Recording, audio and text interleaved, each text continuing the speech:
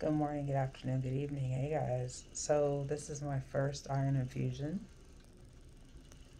Can you see it? Um, I hope you just saw it. Anyway, this is it. And it's going to take about 45 minutes. So, yeah. I got my feet all kicked up. Want to see? Yeah. And they gave me some coffee and Wadi. And uh, everybody's really nice. And uh, I'll be going on Tuesdays. Tuesday, Tuesday, Tuesdays. So, anyway, I will talk to you guys later. God bless.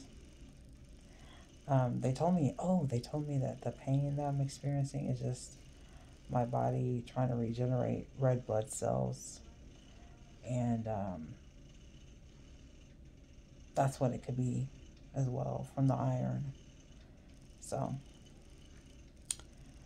and the sleepiness as well. So, at least I have some answers now. All right, guys. Talk to you later. Bye.